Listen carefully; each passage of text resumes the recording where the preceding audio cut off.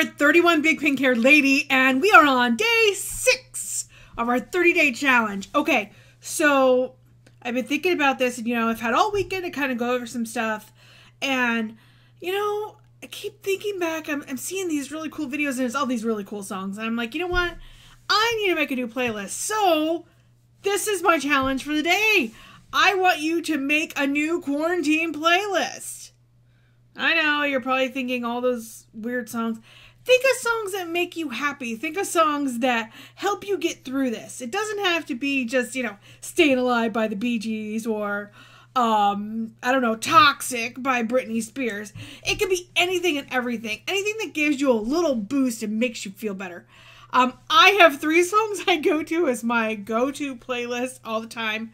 My husband knows this, and the really sad thing is, two of them are from animated movies. Ah, um, I love um the soundtrack from Sing and from Trolls.